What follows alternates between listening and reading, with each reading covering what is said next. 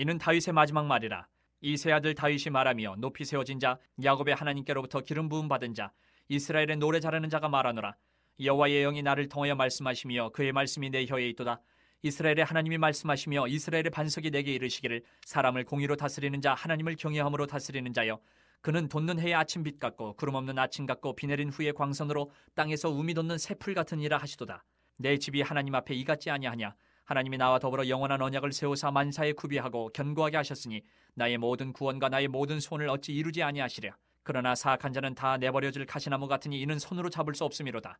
그것들을 만지는 자는 철과 창자루를 가져야 하리니 그것들이 당장에 불살리리로다 하니 다윗이 죽을 날이 임박함에 그의 아들 솔로몬에게 명령하여 이르되 내가 이제 세상 모든 사람이 가는 길로 가게 되었노니 너는 힘써 대장부가 되고 내 하나님 여호와의 명령을 지켜 그 길로 행하여 그 법률과 계명과 율례와 증거를 모세의 율법에 기록된 대로 지키라. 그리하면 내가 무엇을 하든지 어디로 가든지 형통할지라. 여호와께서 내 일에 대하여 말씀하시기를 만일 내 자손들이 그들의 길을 삼가 마음을 다하고 성품을 다하여 진실이 내 앞에서 행하면 이스라엘 왕위에 오를 사람이 내게서 끊어지지 아니하리라 하신 말씀을 확실히 이루게 하시니라.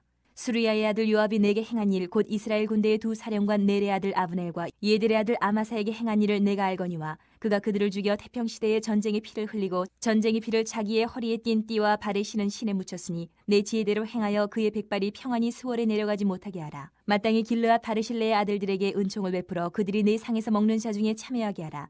내가 내 형 압살롬의 낯을 피하여 도망할 때에 그들이 내게 나왔느니라 바울인 베냐민 사람 게라의 아들 시므이가 너와 함께 있나니 그는 내가 마하나임으로 갈 때에 악독한 말로 나를 저주하였느니라. 그러나 그가 요단에 내려와서 나를 영접함으로 내가 여호와를 두고 맹세하여 이르기를 내가 칼로 너를 죽이지 아니하리라 하였노라. 그러나 그를 무죄한 자로 여기지 말지어다. 너는 지혜 있는 사람이므로 그에게 행할 일을 알지니 그의 백발이 피 가운데 수월에 내려가게 하라. 다윗이 그의 조상들과 함께 누워 다윗성에 장사되니 그가 나이 많아 늙도록 부하고 존귀를 누리다가 죽음에 그의 아들 솔로몬이 대신하여 왕이 되니라. 다윗 왕의 행적은 처음부터 끝까지 선견자 사무엘의 글과 선지자 나단의 글과 선견자 가세 글에 다 기록되고 또 그의 왕된 일과 그의 권세와 그와 이스라엘과 온 세상 모든 나라의 지난 날의 역사가 다 기록되어 있느니라.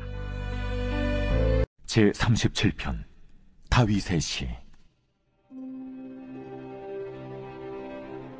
악을 행하는 자들 때문에 불평하지 말며 불의를 행하는 자들을 시기하지 말지어다. 그들은 풀과 같이 속히 배임을 당할 것이며 푸른 채소같이 쇠잔할 것이미로다. 여호와를 의뢰하고 선을 행하라. 땅에 머무는 동안 그의 성실을 먹을거리로 삼을지어다. 또 여호와를 기뻐하라. 그가 내 마음의 소원을 내게 이루어 주시리로다.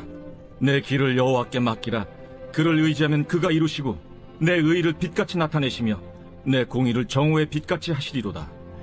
여호와 앞에 잠잠하고 참고 기다리라. 자기 길이 형통하며 악한 꾀를 이루는 자 때문에 불평하지 말지어다. 분을 그치고 노를 버리며 불평하지 말라. 오히려 악을 만들 뿐이라. 진실로 악을 행하는 자들은 끊어질 것이나 여호와를 소망하는 자들은 땅을 차지하리로다.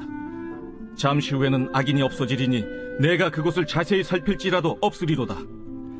그러나 온유한 자들은 땅을 차지하며 풍성한 화평으로 즐거워하리로다. 악인이 의인치기를 꾀하고 그를 향하여 그의 일을 가는도다. 그러나 주께서 그를 비웃으시리니 그의 날이 다가옴을 보심이로다. 악인이 칼을 빼고 활을 당겨 가난하고 궁핍한 자를 엎드러뜨리며 행위가 정직한 자를 죽이고자 하나 그들의 칼은 오히려 그들의 양심을 찌르고 그들의 활은 부러지리로다. 의인의 적은 소유가 악인의 풍부함보다 낫도다. 악인의 팔은 부러지나 의인은 여호와께서 붙드시는도다. 여호와께서 온전한 자의 나를 아시나니 그들의 기업은 영원하리로다. 그들은 환난 때에 부끄럼을 당하지 아니하며 기근의 날에도 풍족할 것이나 악인들은 멸망하고 여호와의 원수들은 어린 양의 기름같이 타서 연기가 되어 없어지리로다. 악인은 꾸고 갚지 아니하나 의인은 은혜를 베풀고 주는도다. 주의 복을 받은 자들은 땅을 차지하고 주의 저주를 받은 자들은 끊어지리로다.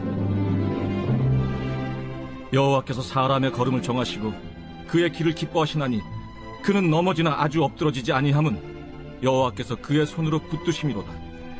내가 어려서부터 늙기까지 의인이 버림을 당하거나 그의 자손이 걸식함을 보지 못하였도다. 그는 종일토록 은혜를 베풀고 꾸어주니 그의 자손이 복을 받는도다. 악에서 떠나 선을 행하라. 그리하면 영원히 살리니 여호와께서 정의를 사랑하시고 그의 성도를 버리지 아니하심이로다.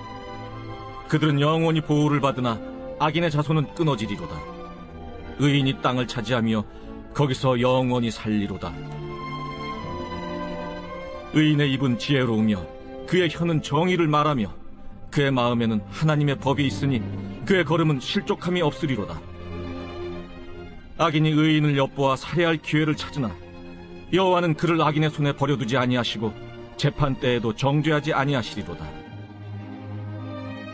여호와를 바라고 그의 도를 지키라. 그리하면 내가 땅을 차지하게 하실 것이다.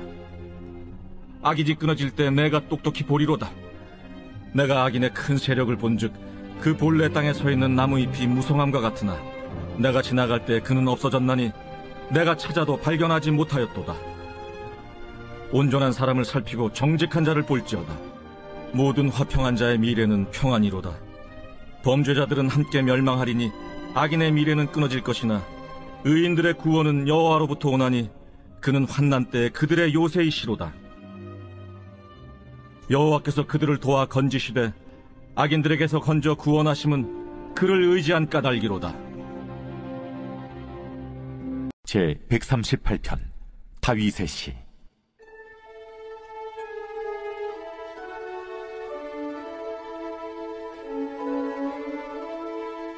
내가 전심으로 주께 감사하며 신들 앞에서 주께 찬송하리이다. 내가 주의 성전을 향하여 예배하며 주의 인자하심과 성실하심으로 말미암아 주의 이름에 감사하오리니 이는 주께서 주의 말씀을 주의 모든 이름보다 높게 하셨습니다. 내가 간구하는 날에 주께서 응답하시고 내 영혼에 힘을 주어 나를 강하게 하셨나이다. 여호와여 세상의 모든 왕들이 주께 감사할 것은 그들이 주의 입의 말씀을 들음이오며 그들이 여호와의 도를 노래할 것은 여호와의 영광이 크심이니이다. 여호와께서는 높이 계셔도 낮은 자를 굽어 살피시며 멀리서도 교만한 자를 아심이니이다. 내가 환난 중에 다닐지라도 주께서 나를 살아나게 하시고 주의 손을 펴사 내 원수들의 분노를 막으시며 주의 오른손이 나를 구원하시리이다. 여호와께서 나를 위하여 보상해 주시리이다.